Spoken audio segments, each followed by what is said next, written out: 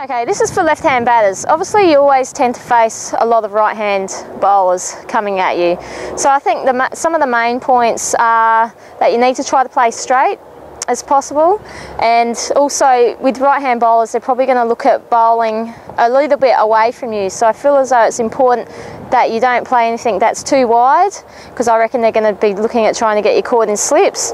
And you just really got to watch the ball and wait for it and don't chase balls that are outside your eye line either. So I feel that's important. And um, yeah I think with that, you'll score a lot of runs, especially if you play straight, and you'll get your wide balls that you can hit through covers and, and work off the pads as well. And, and you know, I think it's an advantage being a left-hander batter. And um, you know, my opinion is we've got some of the, you know, we're some of the best batters going around at the moment. So yeah, good luck with that.